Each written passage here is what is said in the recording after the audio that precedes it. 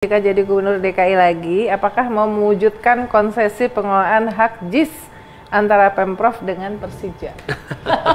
ini titipan dari sport. Gini loh, ini ya apa eh, Jakarta International Stadium JIS itu memang dibangun waktu itu sebagai janji kepada pendukung Persija, The Jack, hmm. karena mereka selama bertahun-tahun tidak punya stadion ya. dan sudah dijanjikan tidak terrealisasi, janjikan hmm. tidak terrealisasi. Hmm. Sehingga kami waktu itu berkomitmen kami akan memenuhi janji itu hmm. supaya uh, klub kesayangan warga Jakarta ini hmm. tidak harus berumah di tempat lain, ya. tapi bisa berumah di di Jakarta. Hmm. Itu sebabnya JIS dibangun. Nah, proses pembangunan JIS itu seharusnya sudah bisa selesai di kuartal keempat tahun 2021. Ya.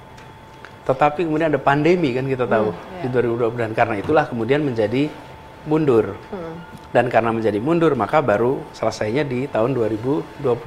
Nah, hmm. proses penyusunan kerjasama belum tuntas hmm.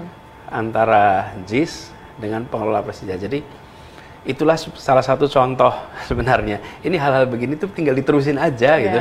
Betul. Tinggal diterusin aja, jadi itu selesai. Akhirnya Persija bisa berumah hmm. di uh, JIS karena itulah untuk untuk untuk uh, Persija. Hmm. Kemudian dan harapannya JIS itu juga dipakai secara optimal. Hmm. Sayang sekali kita punya fasilitas tidak dipakai.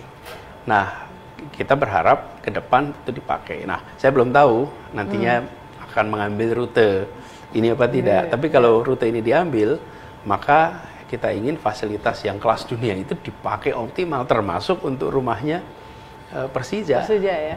Oke. Okay.